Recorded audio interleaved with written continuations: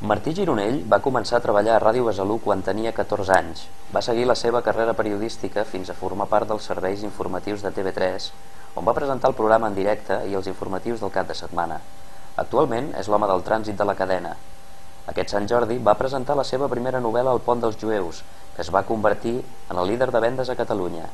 Tot seguit ens explica com s'ha aconseguit aquest èxit.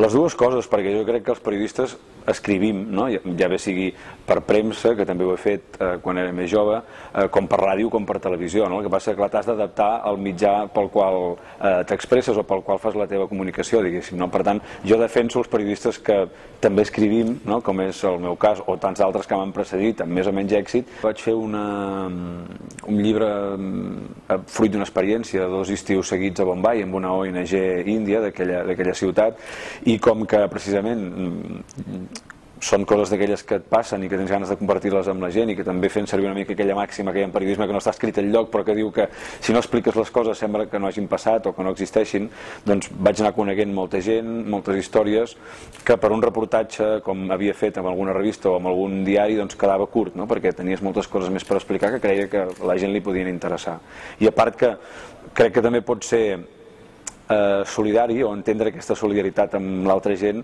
doncs ben entesa des de la teva feina. No? El pont dels jueus eh, és això, és una novel·la d'aventures medieval que neix a partir de la construcció del pont de Besalú, no? a partir d'aquest fil eh, que és un personatge més, per no dir el personatge al voltant del qual eh, s'hi van teixint totes les històries. No? És la història del de el, el constructor Pere Baró que ve per reconstruir el pont original i que quan ve li donen un lligall de pergamins on diuen que és eh, les memòries del fill del primer constructor que va venir. El paper que hi juga Tafaig és una mica la d'aquesta persona que, que reivindica aquesta tradició popular de la gent que, que sap treure partit del bosc i de les coses que, que ens dona la natura, no? de saber també apreciar la natura. També hi ha com una picada d'ulleta, aquestes salvatjades que es fan a segons quines, eh, quins llocs de la nostra costa o del nostre litoral o fins i tot també de la nostra muntanya. Hi ha també una mica aquesta idea. Per què?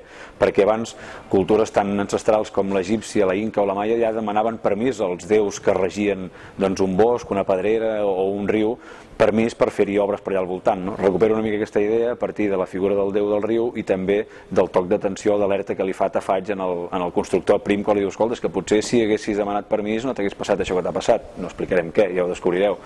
Però eh, una mica aquesta idea hi és. No?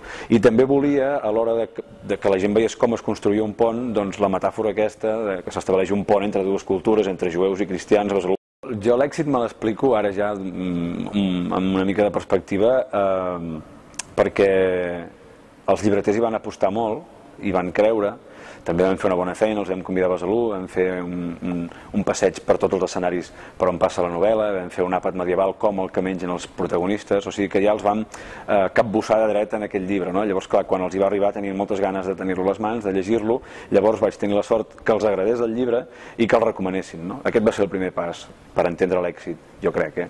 L'altre és que un cop la gent ha acceptat aquesta recomanació del, del llibreter, l'ha llegit, li ha agradat també, que no és poca cosa, i llavors l'ha recomanat recomanat i és aquell boca-orella que tothom desitja i que si arriba doncs és, és molt bo. No?